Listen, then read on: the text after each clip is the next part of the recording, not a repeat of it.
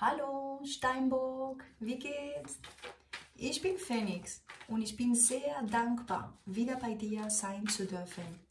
Ich möchte gerne mit dir zusammenschauen, wie die Energie für dich für kommende Woche steht, ja? Schauen wir mal zusammen, Steinbock.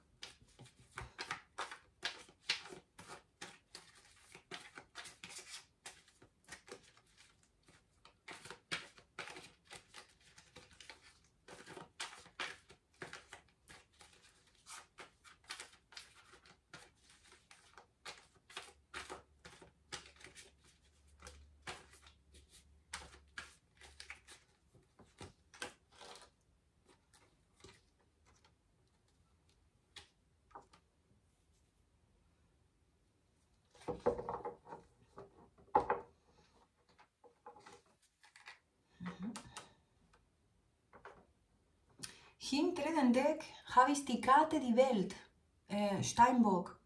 Die Karte die Welt, also Nummer 21, den letzten großen Arkana. Äh, wir reden über einen Zyklus eigentlich hier, ja. Äh, aber natürlich auch eine Reise, ja. Also äh, ich sehe hier eine Reise und auch eine geografische Distanz zu einer Person oder wie auch immer. Also die Distanz ist hier für eine Gruppe, die Karte die Welt, wie gesagt. Äh, Internet natürlich auch, also Kommunikation über Internet, viel Kommunikation über Internet, nicht nur eigentlich mit einer Person allein, sondern es könnten mehrere Personen. Ich meine, das ist immerhin die Karte die Welt, also eigentlich ist international die Karte äh, und äh, mehrere Menschen äh, ja, verbinden sich ja durch Internet. Von da aus, das ist eine, eine Karte, die Karte die Welt, die nochmals, ähm, ja, also mit vielen Kontakten eigentlich zu tun haben könnte. Ja, weil, ähm, wie gesagt, spricht auch über mehrere Personen dann in dem Fall. Internet, ja, und, äh, und so weiter viel, also Kommunikation. Die Arbeit ist hier nämlich auch. Und nochmals diese geografische Distanz. Äh, tatsächlich, ich sehe eine Reise. Das sage ich dir aber, Steinbock. Ich sehe schon hier eine Reise. Ja. Da, ja, die Pläne sind eigentlich schon gemacht. Also die Sache ist, und das kann sogar mit der Arbeit zu tun haben. Es hat irgendwie die Verbindung, könnte, die Verbindung ist da. Es könnte mit der Arbeit zu tun haben, ja. Äh, schau mal bitte jetzt hier. Also einen Ritter der Kelche, Königin der Münzen und neun der Stäbe. Äh, du siehst ja, also neun der Stäbe zeigt eine Person, die nicht im Vertrauen ist. Ja, warum? Weil wenn du siehst, diese Illustration hier, diese Person, du siehst ja, diese Person stellt sich vielleicht auf eine Defensive. Äh, du siehst ja, die Person ist bereits verletzt, ist äh, mehrere Mal verletzt und de, das ist der Grund, warum diese Person sich auf eine Defensive stellt. Diese Person vertraut momentan nicht so. Ne? Äh, die Person ist ängstlich, also die Person hat Angst hier auch. Ich habe Angst. Ich muss mich wieder auf die Defensive stellen. Ich muss mich wieder vorbereiten. Denn was möchte die Person jetzt schon wieder von mir? Oder ja, was möchte die Person von mir jetzt schon wieder? Immer wieder und äh, immer wieder. Ich werde ständig verletzt, ich werde ständig, äh, ja, und äh, ich vertraue die Situation nicht mehr. Was will die Person von mir? Äh, ich weiß nicht, für wem das hier spricht, jetzt Steinbock. Ja, die Legung kann sich natürlich spiegeln. Aber jemand stellt sich hier auf eine klare Defensive. Jemand hat Angst, jemand möchte nicht wieder verletzt werden und eine Person ähm, äh, ja, ist kurz vor einem Ende hier. Eine Person macht kurz hier tatsächlich ein Ende. Eine Person macht mit einem Zyklus bald ein Ende, tatsächlich. Tatsächlich. Ich weiß nicht, wer die Person ist jetzt hier. Aber jemand macht bald hier einen Schluss, ein Ende. Warum? Nochmals, weil schon oft das schon vorgekommen ist. Es ist oft das vorgekommen, dass ich verletzt wurde. Egal von wem, Steinbock. Es kann ein Kind sein von dir. Es kann einen Ex, einen Ehemann, Ehefrau. Es kann einen Wunschpartner. Ich weiß nicht, wie deine Situation ist. Es kann sogar deine eigene Mutter sein. Ja, es kann deine eigene Mutter, dein eigenen Vater. Es, es ist, kommt drauf an. Äh, ich sehe hier Verletzungen. Ich sehe diese Verletzungen, ja. Auf den Wölfen kam Sternzeichen Krebs. Ja? Sternzeichen Krebs und die Nummer 1. Die Nummer 1 kommt momentan bei fast alle Sternzeichen heute. Ich glaube, ich habe nur die Nummer 1 gehabt. Es, war, es ist extrem interessant. Äh, bei dir, du bist kurz vor eine klare Ende in einem Zyklus bei dir. Das ist das Gefühl, was ich bei dir bekomme. Steinbock, du bist kurz davor. Deswegen nochmals die Nummer 1. Wir reden doch hier über einen Zyklus. Es ist ein Zyklus hier.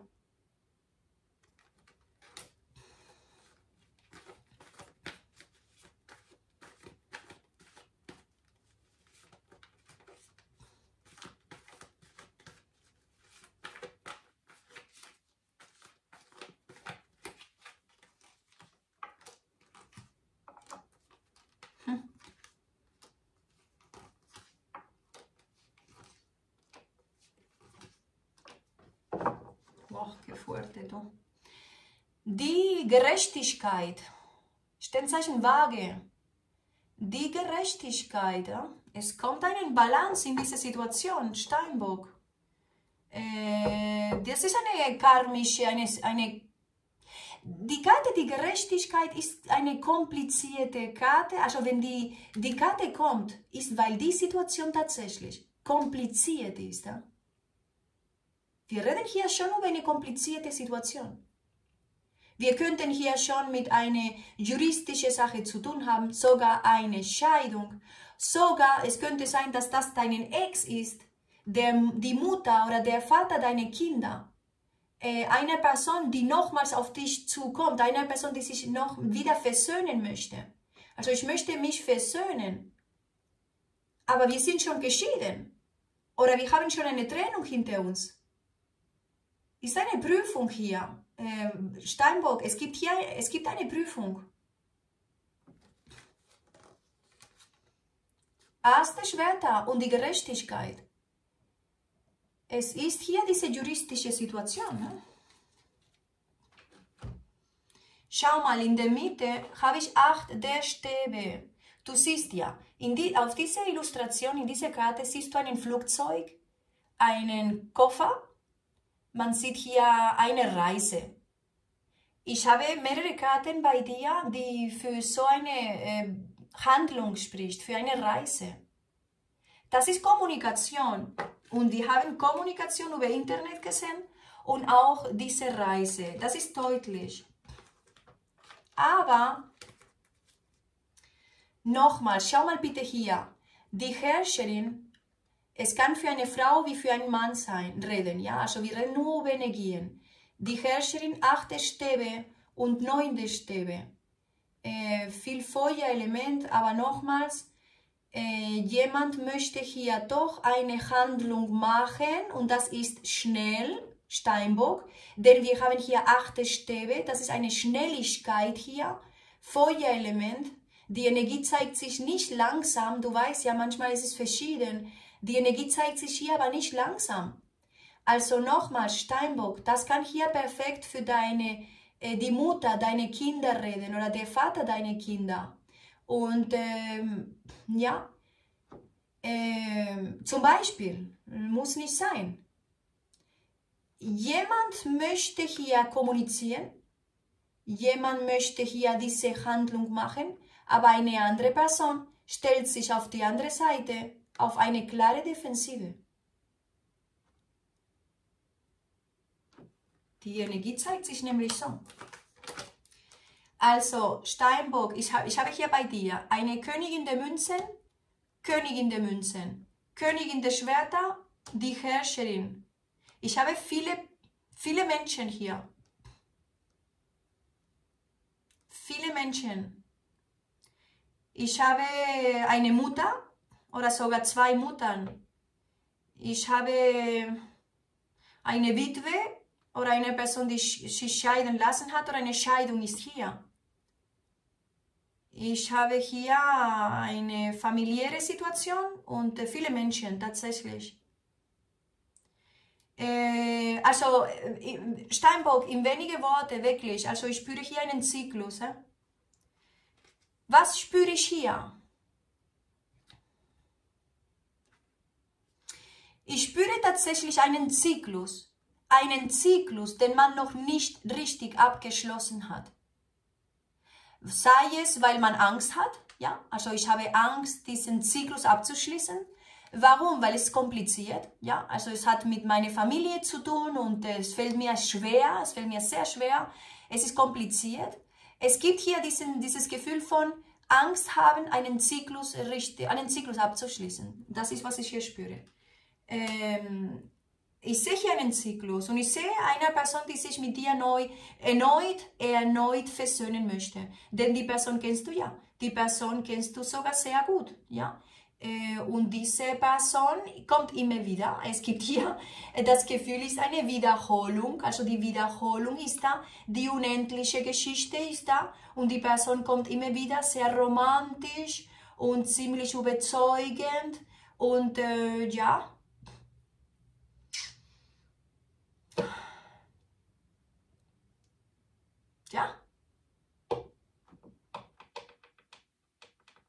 Äh, Steinbock, ich sehe hier eine Schwangerschaft. Jemand ist hier schwanger oder gibt es hier schon Babys? Äh, ja, sind Babys äh, irgendwie? Äh, äh, so ungefähr, ich habe ein Baby von dir. Also, du wirst dich da verantwortlich machen wollen, oder? Das Baby ist doch von dir.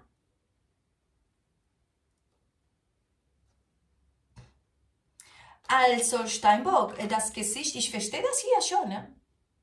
Ich weiß nicht, ob du das Gesicht sehen kannst, aber diese Person zeigt Angst. So ungefähr, oh mein Gott, oh mein Gott. Oh mein Gott. Bitte nicht, ja? so ungefähr. Augenblick. Sternzeichen Löwe, Sternzeichen ähm, wie, äh, Waage, Stier. Ich meine, Sternzeichen sind nicht so wichtig. Ich, hab, ich kann alle Sternzeichen gerade hier haben. Ich habe Kelchen, Stäbe, äh, Schwerter und Münzen. Stier, Steinbock, Jungfrau, Sternzeichen Krebs, Löwe, äh, Stier, wie gesagt, wieder. ich kann alle Sternzeichen hier haben.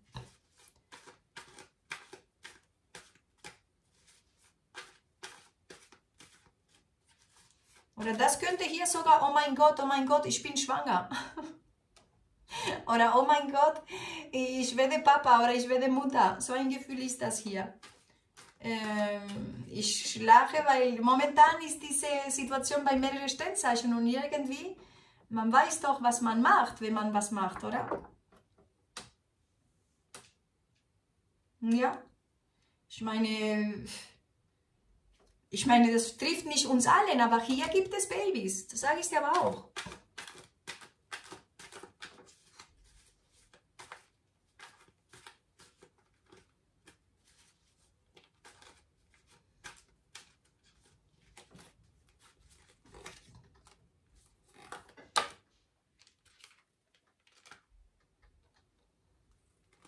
Es kommt ein wichtiges Gespräch hier, Steinbock. Sternzeichen Stier ist bei dir gerade hier. Ne? Sternzeichen Stier, es kommt hier ein wichtiges Gespräch. Und eine Person wird dir sagen, schau mal, äh, ich möchte in unserer Beziehung dran arbeiten. Ich möchte, äh, dass wir uns wieder eine Chance geben und ich möchte, äh, dass wir ernst zusammen sind und zusammen bleiben. Ich möchte es ernst. Äh, irgendwie gibt es diese Situation hier. Sogar so ungefähr, äh, wir haben doch Kinder zusammen. Wir haben Kinder, äh, ja, wir haben schon zusammen was aufgebaut. Also ähm, ich möchte, dass wir wieder in diese Beziehung Zeit Energie investieren und äh, ja, tatsächlich. Es kommt hier Klarheit. Es kommt Klarheit. Ich habe viele Menschen. Ne?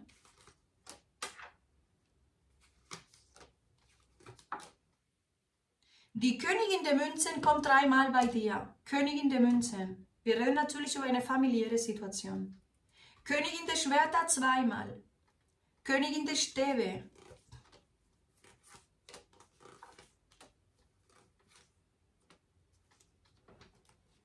Steinbock, deine Energie, soll ich dir ehrlich sein, deine Energie ist mir ein bisschen wie bei Sternzeichen Stier. Also es gibt hier eine, eine Synchronisierung mit Sternzeichen Stier.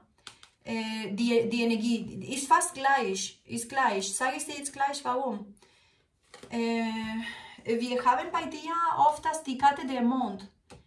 Die Karte der Mond und das hatten wir bei Sternzeichen Stier auch. Dreimal die Karte der Mond bei Sternzeichen Stier. Bei dir haben wir zweimal nämlich auch. Es gibt eine Ungewissheit hier. Eine Ungewissheit, äh, die hier Kopf, Kopfschmerzen gibt. Also es, die Situation äh, bereitet mir Kopfschmerzen oder ich kann nicht schlafen, ich werde ständig wach. Nachts kann ich ständig nur an diese Situation denken. Ich denke viel nach. Möchtest du eine Mutter besuchen? Möchtest du eine Mutter besuchen tatsächlich? Ist das eine, ein Wunschpartner? Ist das deine eigene Mutter? Ist das, äh, naja, Sternzeichen Krebs ist wieder mal sehr präsent bei dir auch. Aber die Sache ist hier eine Reise. Eine Reise, weil eine Person einfach nicht schlafen kann. Äh, nicht schlafen kann, emotionell sehr äh, nicht gut geht. Ja, also so ungefähr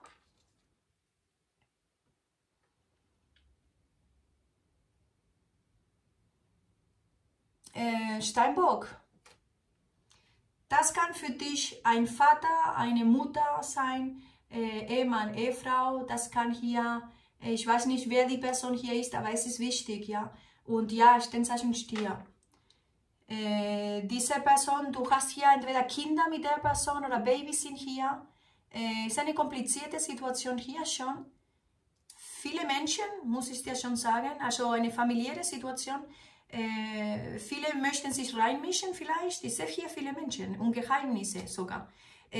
Das Wort Geheimnis kann man hier groß schreiben. Ich, ich sehe hier Geheimnisse und ähm,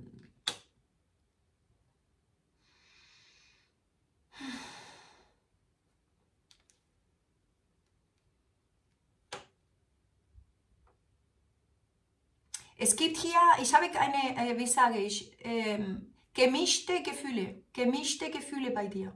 Denn ich sehe nicht nur eine Person, natürlich nicht. Ich habe hier alle Königin und oft das. Ich habe, ja, also die Königin der Schwerter zweimal, Königin der Münzen zweimal, Königin der Stäbe, die Herrscherin und eine hohe Priesterin. Hohe Priesterin und der, und der Hierophant. Also ich sehe hier natürlich schon eine Situation. Aber ähm, da ich so viele Menschen hier sehe, ich spüre, ich habe gemischte Gefühle. Äh, ich sehe natürlich äh, deine Vergangenheit tatsächlich, ja.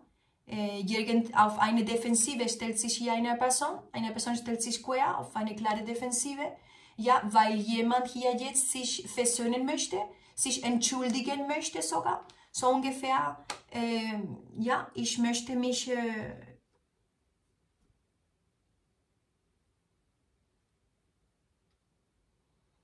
ja, ich möchte mich hier entschuldigen, ich möchte mich hier versöhnen. Ich möchte vom Herz zu Herz mit dir reden und ich meine es ernst. Ich möchte in, an dieser Beziehung dran arbeiten.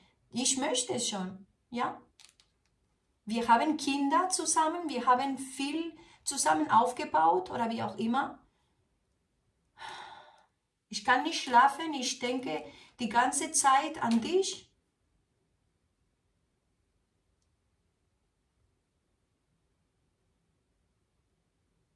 Ich liebe dich und ich kann dich nicht vergessen.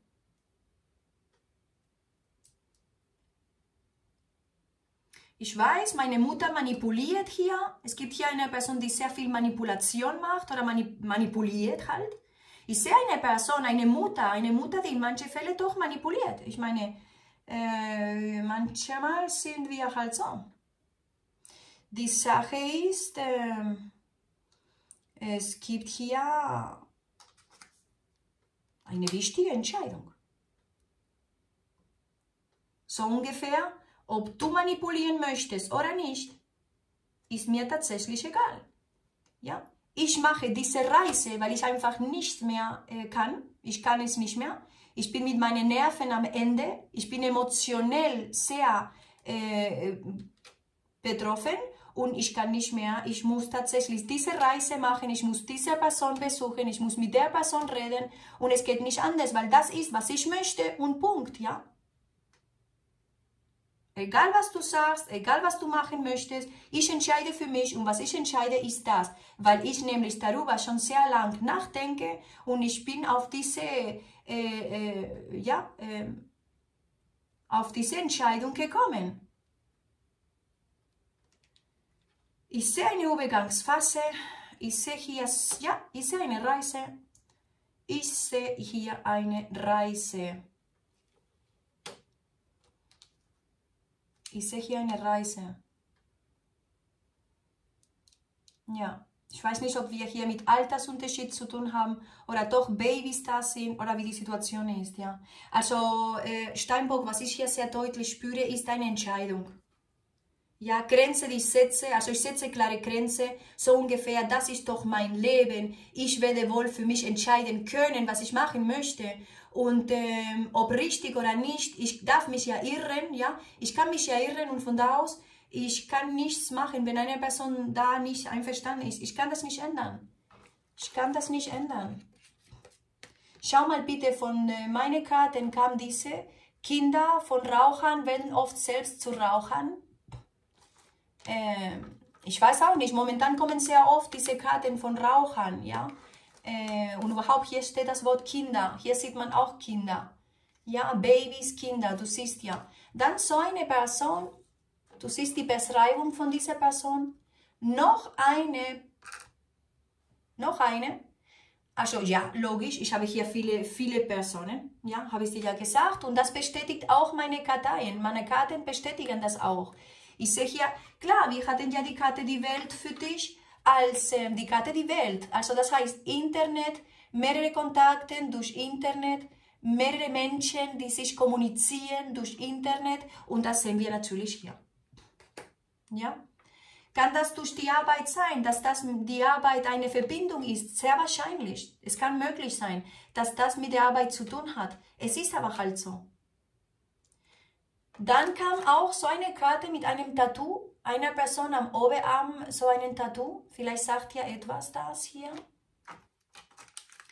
Und eine Katze. Kosmische Verbindung nicht von dieser Welt. Ich glaube, das war beim... Bei wem war das jetzt schon wieder? Äh, ich bin mir nicht sicher, wo das war. Aber die Katze kam heute mit diesem, mit, die, mit das hier auch. Also, Schau mal bitte jetzt Steinbock von diesem Orakel äh, einen neuen Beginn. Äh, es fängt ein neuen Beginn für dich äh, äh, an. Ja, also was Neues kommt. Einen neuen Start ist kommen, ja, weil du bist ja kurz vor einem Ende hier. Du bist tatsächlich kurz hier vor einem Ende in, ein, in eine bestimmte Situation. Ja. Dann kam auch diese Karte, stimme dich ein auf das Göttliche. Ja. Die Gefühle, also die Gefühle, äh, man merkt hier die Emotionen natürlich auch, ähm, werden immer mehr und immer mehr.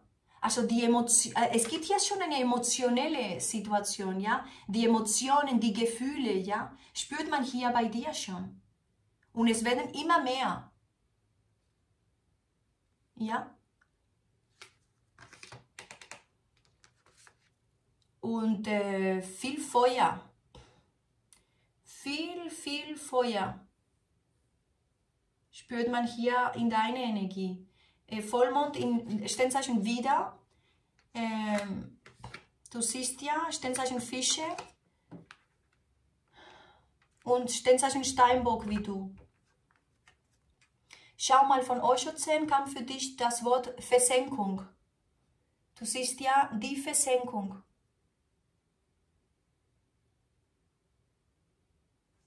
Ja?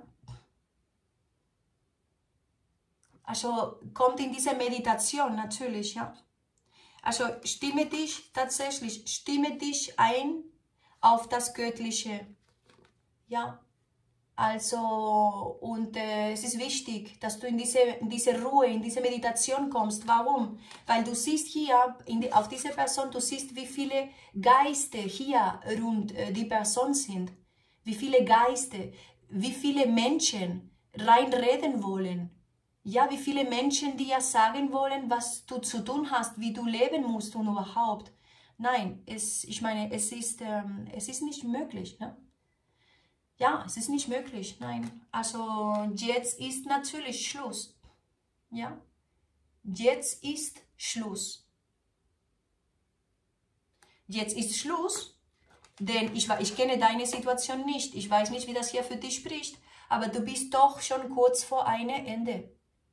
Du bist kurz vor einem Ende, sicher. Und das heißt für dich, einen Zyklus abzuschließen. Ja, habe keine Angst, eh? Steinbock. Habe wirklich keine Angst. Denn Ängste sieht man bei dir. Man sieht diese Ängste hier. Und Angst spielt sich nur in unserem Kopf, ja? Also diese Angst, dieses Gefühl, Angst zu haben, spielt sich in unserem Kopf.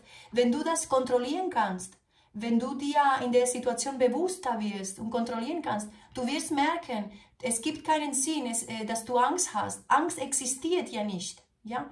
In Wirklichkeit existiert ja nicht. Es spielt sich nur in unserem Kopf. Und das musst du ganz selbst kontrollieren. Ja, solltest du selbst kontrollieren können. Äh, damit du von dieser Situation dich ein bisschen trennen kannst. Ja? Äh, ich sehe hier natürlich Angst. Ich sehe sogar für manche Depression, also eine Depression hier.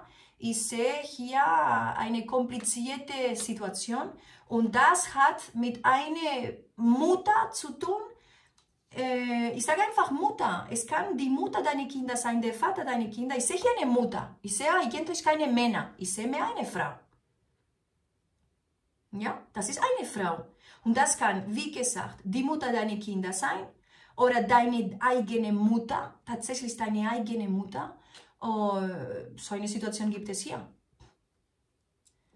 Ja, aber ich spüre hier eine Entscheidung. So ungefähr, ich entscheide für mich. Warum? Weil ich es nicht mehr ertragen kann. Ich kann es nicht mehr. Ich ertrage es nicht mehr. Ja, ich ertrage es nicht mehr. Tatsächlich nicht. Und ähm,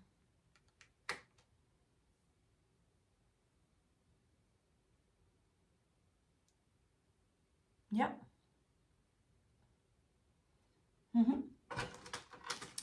Äh, ich spüre hier, wie gesagt, eine Situation wiederholt sich. Äh, was das jetzt ist, ist interessant.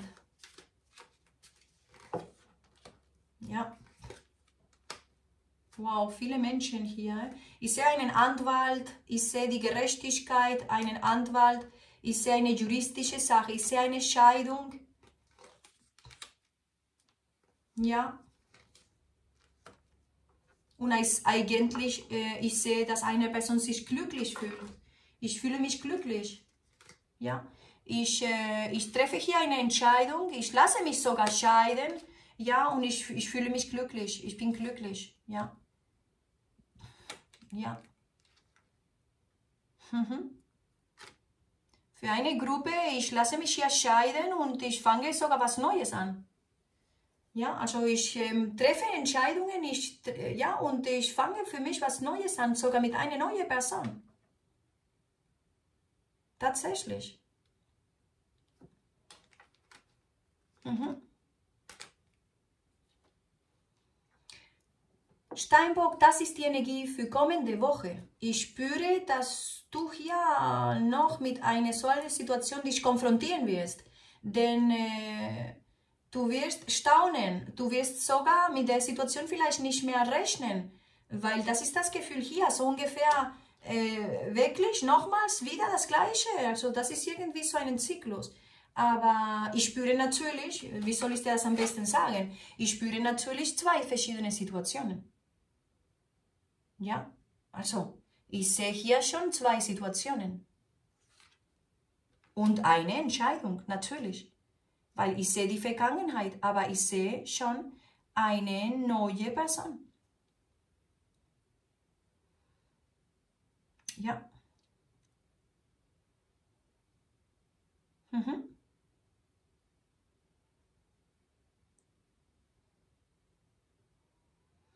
Steinbock, es ist eine klare familiäre Situation hier, die wir hier haben. Es ist deutlich. Ja, ich rede für Menschen, die entweder in einer Beziehung sind, verheiratet sind oder noch mit dem Ex ein enges Verhältnis hat oder sogar die Mutter ist die Person, die diese Macht hat, ja, äh, und, ja also die Macht hat und äh, kompliziert ist für, für manche erwachsene Kinder, ja, diesen Verhältnis zu der Mutter, äh, weil man diesen Kontroll haben möchte.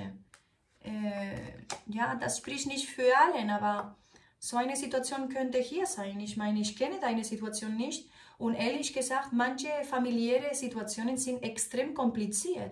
Ich könnte selbst nicht mich da rein äh, äh, versetzen. Ja, ich könnte es nicht verstehen, sowieso nicht. Aber du wirst schon wissen, was das hier für dich heißt. Ja? Ähm, mhm. Tatsächlich. Also Steinbock, das ist die Energie. Ich danke dir für deine Likes, für deine Abos. Und ich wünsche dir ein schönes Wochenende. Ja, bis bald. Tschüss.